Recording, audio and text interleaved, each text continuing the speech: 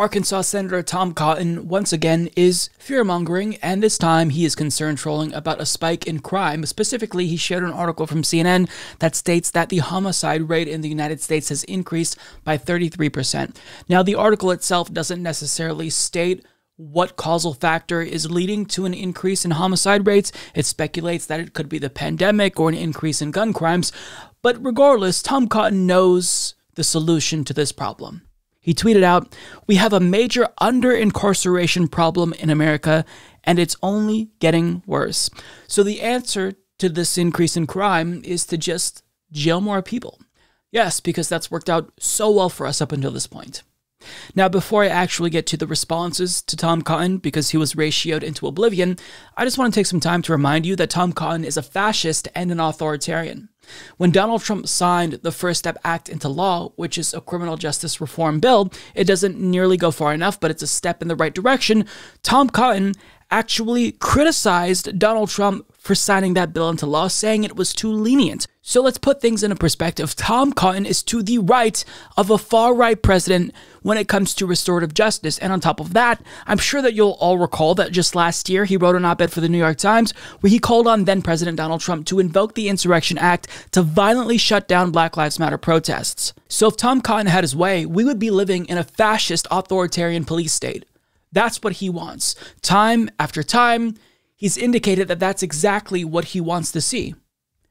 So I think that we should take him at his word. When he tells us who he is, we should believe him. He's a fascist. He's an authoritarian.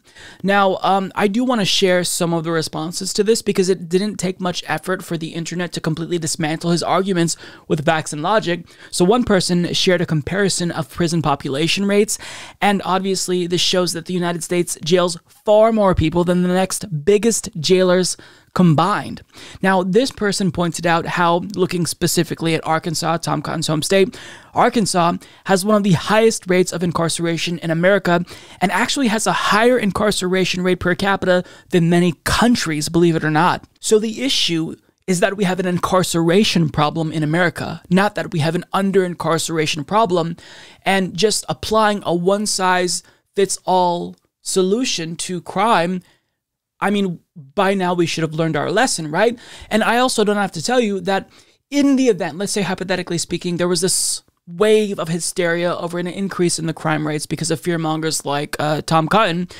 Who would be the most affected by that? We all know disproportionately black and brown people would be jailed at higher rates than white people. It's already the case that black and brown Americans are more likely to be locked up than whites. They receive longer sentences than their white peers for the same crimes, and they're also far more likely to be arrested for drug use, even though they're as likely as their white peers to use drugs at the same rates. And part of the reason why they get locked up at higher rates than white people for the same crimes is because black and brown neighborhoods are policed more so than white neighborhoods. In fact, black and brown neighborhoods are over policed. But the thing is that this isn't a flaw in our criminal justice system. It's not some unintended consequence that we're only finding out about. This is a feature of our criminal justice system. Our criminal justice system is explicitly white supremacist. But here's the thing Tom Cotton may be a fascist, he may be an authoritarian, but he's aware of this. He knows this.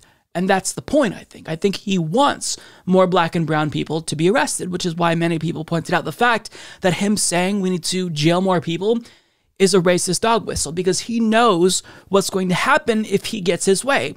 More black and brown people will be jailed. Now, in spite of the occasional spikes in crime, the overall trends tell you a completely different story. So, since the 1990s, violent crime and property crime has actually decreased substantially.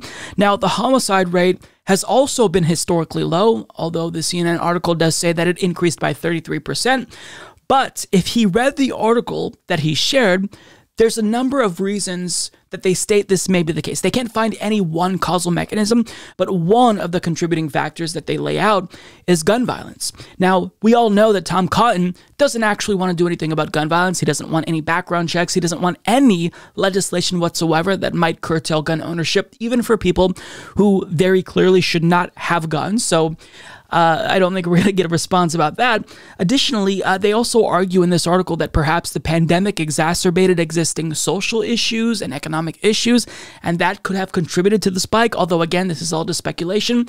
And the article also speculates that another reason why we may have seen an increase in crime is because police departments had to reallocate resources and personnel to the Black Lives Matter protests last year. And, you know, that took time away from them policing high crime areas. And also, since there's so many, you know, defund the police efforts, police morale is low. And on top of that, if we're defunding police departments, then obviously they can't do their job as effectively, that's leading to an increase in crime. Now, that particular portion of this article is complete horseshit because in order to uh, speculate about whether or not defund the police or Black Lives Matter protests were uh, responsible for an increase in crime, they just cite police commissioners and police departments verbatim.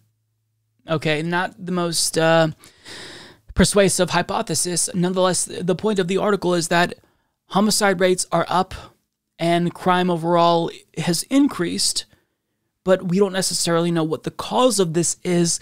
And furthermore, historically speaking, in comparison to the 70s and the 80s, crime is still low overall. But what Tom Cotton is doing is trying to use this article as a justification to further crack down on Americans specifically black and brown Americans. And I mean, this is him stating fully and intentionally that he wants to live in a police state. It's already the case that the United States of America is basically a police state when you look at how many people we jail in comparison with other developed nations. I would be ashamed if I was a US senator at these statistics. I would be ashamed that my country, a supposed democracy, jails so many people and that we haven't immediately changed our criminal justice system as a result of this embarrassment, as a result of historic racism in this country. But he's proud of it, and he thinks we should go further. If that doesn't tell you everything that you need to know about Tom Cotton, then uh, I don't know what to say.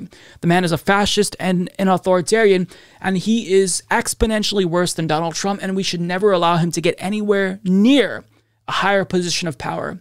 Because if he had his way again, America would be far worse than it is right now.